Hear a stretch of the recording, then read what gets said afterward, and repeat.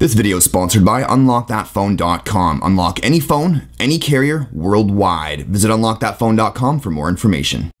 What's up guys, Jared back. So I've got a pretty awesome ROM I'd like to show you for your Nexus 5. It's called CandyKat. Um, now what makes this ROM really, really special, aside from the really cool customizations that they've pulled from various other ROMs, um, by the way, this ROM is actually based off of CyanogenMod, uh, just in case you guys are wondering, but it's had a bunch of picks from various other mods. But what makes this ROM really, really special are the sweetener packs, the modification sort of, um, the look, the cosmetic modification packs that uh, are available to download this with, with this ROM. Um, so I guess we'll go ahead and just jump into it and kind of wing it from that point.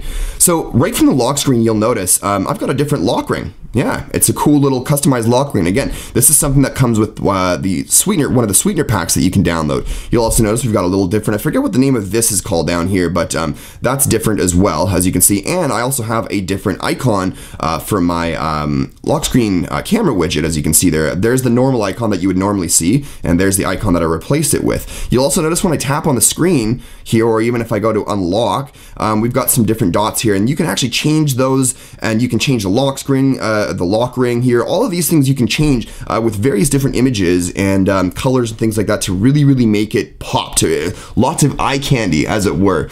Um, so we're going to go ahead and just unlock from there. And you'll also notice that down here in the navigation bar area, we've got some different looking um, navigation bar icons here, which is really cool. And I've got some different glow dot effects or glow effects to them, right? So as you can see, that looks really, really cool in my opinion. I think that's really sharp. Again, you can change all of those. They've got tons, tons of different options for you to choose from to change the navigation bar icons down there. I'm really actually blown away with how many they give you. Um, so you can really make your device look cool and make everybody super duper jealous.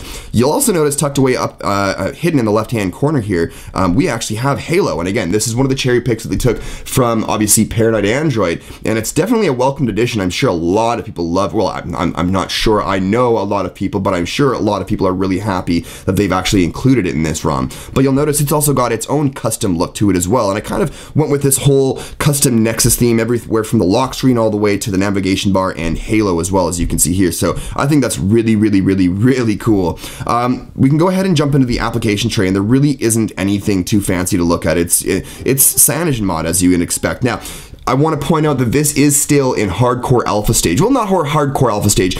I've been able to get away with this ROM as my daily driver for probably the past four or five days. Um, yeah, about four, four, four or five days now.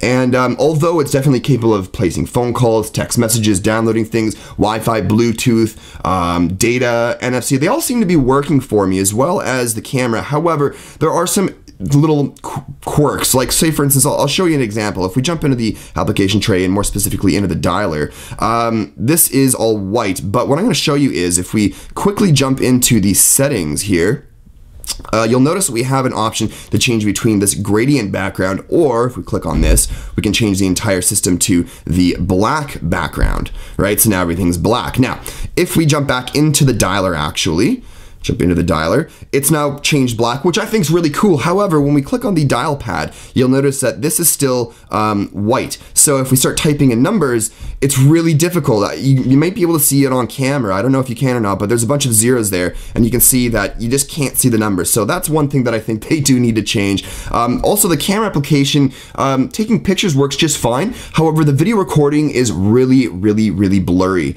Um, I just can't seem to get it to focus. It focuses before I hit the record record button, but as soon as I hit that record button, it goes out of focus, and I'm not sure how to get that to fix other than uh, waiting for an update. Um, and there's just a couple of other little quirks uh, in and around that you'll find throughout the ROM. Um, it's not the end of the world, and I can get by without or you know with those bugs, but I just wanted to kind of make you guys aware of that. So, anyways, jumping back into the ROM itself, um, let's go ahead and move back into the actual settings menu here. And again, this is you know um, a lot of things have been cherry picked from various different ROMs, and things are constantly being added to it. But if we jump into candy options here, um, you've got a lot of things that you've seen in CyanogenMod, which are pretty basic and kind of unexciting. Status bar tweaks, quick settings panel, and all these other pretty much um, standard tweaks. Uh, that go along with it. Again, there's that uh, dark candy, so you can choose between the regular or dark. I do like the dark theme if you want to know my opinion. Uh, we've got some different various Halo options in here as well, so that's awesome. And we also have um, some different lock screen options in here. Again, pretty standard with CyanogenMod. Uh, there's your themes. Then we move into sound. Really nothing too fancy there. Display and lights, nothing fancy there. Uh, moving on to buttons. Nothing really too fancy there either.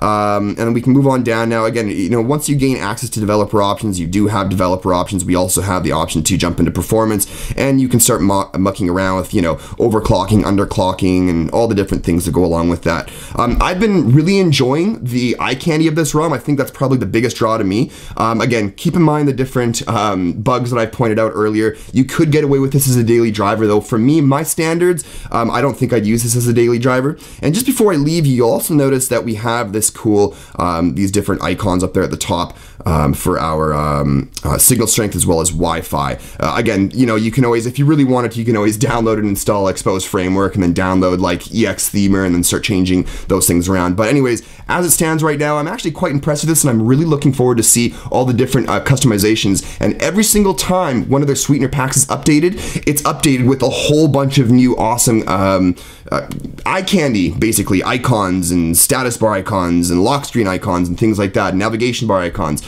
So anyways, I'll be following this video up with a very long how to install video, which will include both the Sweetener Pack 1 and Sweetener Pack 2, so you guys can actually see all the different options that it gives you, uh, both of which are Aroma installers. Um, anyways, guys, that's it for this one though. If you like this video, click that likes button down below, and if you're new to the channel, subscribe for more videos in the future. But that's it for this one. Thanks as always for watching, and we'll see you in the next one. Cheers, guys.